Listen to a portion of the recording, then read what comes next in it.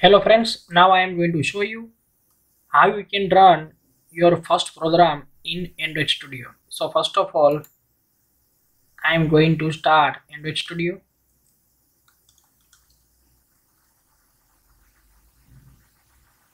It will take some time to load so we need to wait.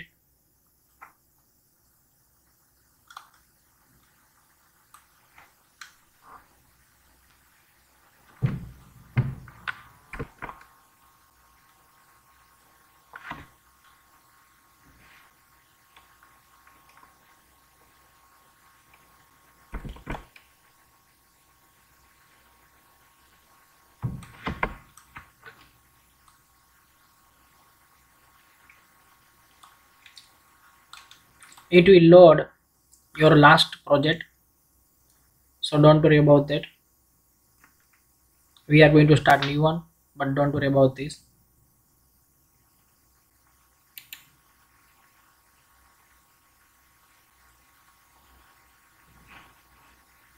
Now here start a new Studio project. I keep this name, it's okay. From here, first of all, you need to create one folder in any drive. Then you can select that folder. I'm going to select this folder. Now, okay. Now, next, this is most important, but I will tell you later. Don't worry about that right now. Next, here this keep same. Just tick mark here. This is the minimum API level, but don't worry. Next, here empty next and our first activity name is main activity. If you want to change then you can change it from here. But right now it is not needed. Finish. We are going with default settings. Now we need to wait.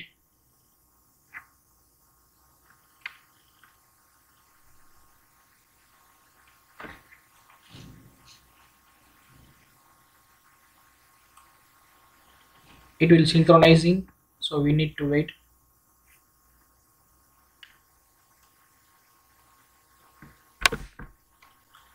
we create new project. That's why it takes two to three minutes to synchronize but don't worry about that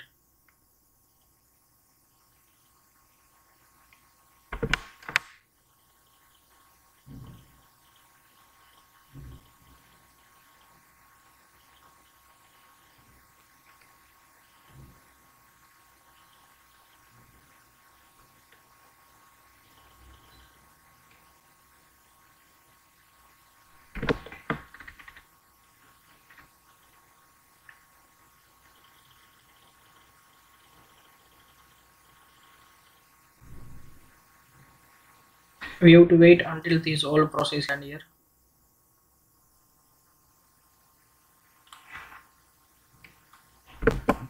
Okay all process done now.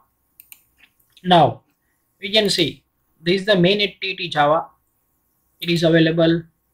Here you can see this is the three folders but you have to consider this first folder and here this main activity folder.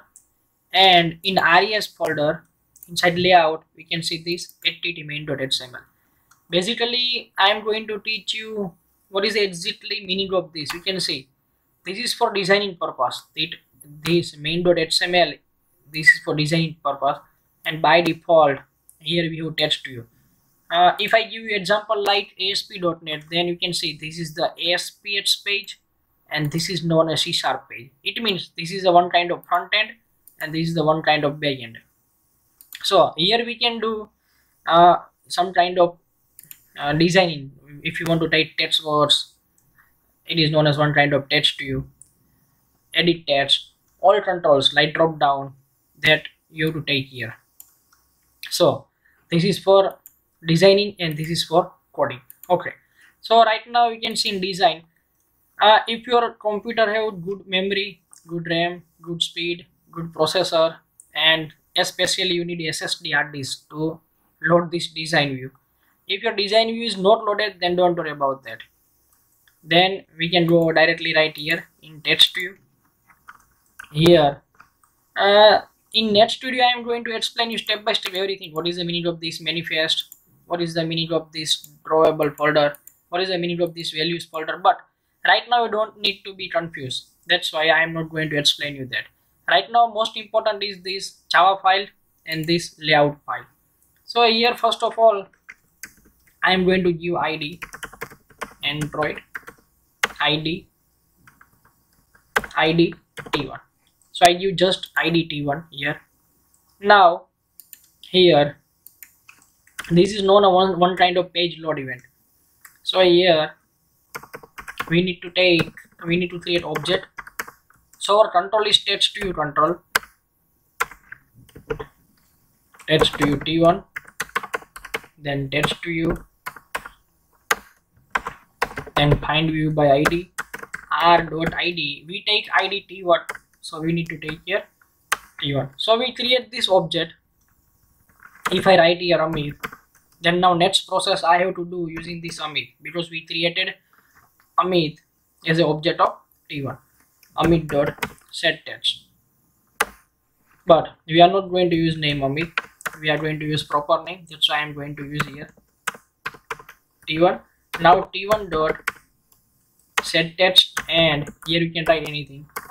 This is my first program. Okay. I just do control s. Now this is for run.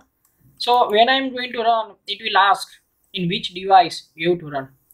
Uh, you can run two way. One is using this virtual device. You can uh, create your virtual device. I press this create new virtual device and you can create one virtual device select any model then next next next finish. So you can get this device here. But it takes lots of memory load. So best thing is you to run on your phone.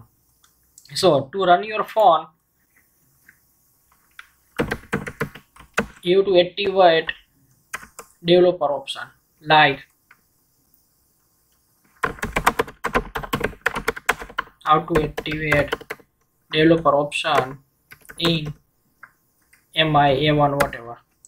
Whatever you have phone like lenovo like oppo you have to uh, write your model name. So your developer option you can see and you have to activate developer option. And then you have to make usb debugging one. But if you are samsung user then you have very good news. And that is for samsung user there is one software named site synchronize. You have to download for desktop and you have to download the same software in your mobile. Then directly your phone you can get here. I'm going to show you. Now i'm going to connect my phone using usb cable. So i just attach usb cable at my phone. Now i open that software in my phone.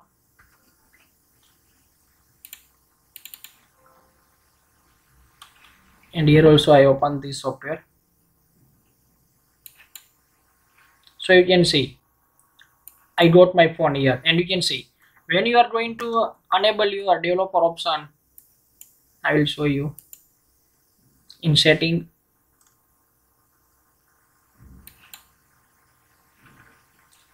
you can see my developer option is right now available. If you find for your phone definitely will get it. Inside developer option you have to enable this usb debugging. Then you will get your phone name here. Now after getting your phone here after getting your phone here you have to just click ok. And if you are getting this type of message then you have to do proceed without instant run. And now we need to wait here for run our first program. Here you can see the Gradle build running. It means it will start compiling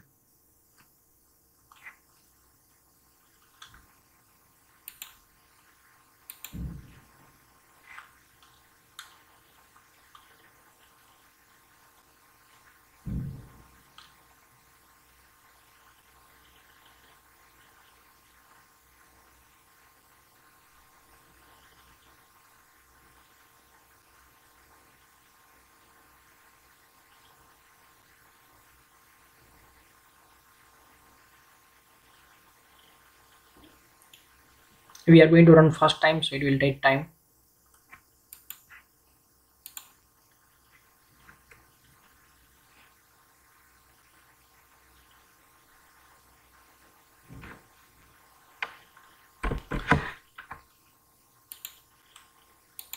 When you are getting message installing apk app it means right now we have no error in our program and in few moments you are getting your app in your phone. We can see we got here. This is my first program which we wrote here. Now uh, if you want to change something like this is my second program then change it save it and if you are going to run same activity second time then you can directly click on this.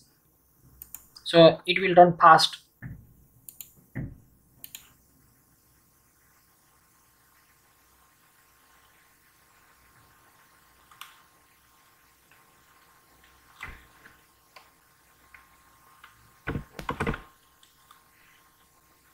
you can see we got message install apk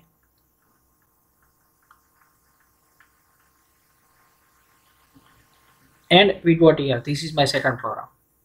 So this way we can run your first program in android.